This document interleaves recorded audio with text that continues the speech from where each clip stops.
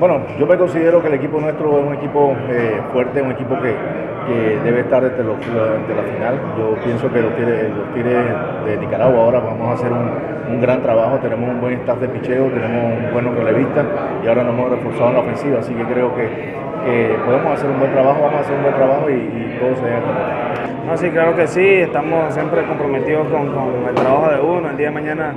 como te digo, es importante, este, estamos en casa, hay que tratar de hacer trabajo. Yo siempre estoy preparado para todo, venga quien venga, no importa, nosotros vamos a hacer todo lo posible y, dar el 100% en el terreno, así como el apoyo de los, de los compañeros que ellos, pues, el equipo nosotros que tenemos es muy bueno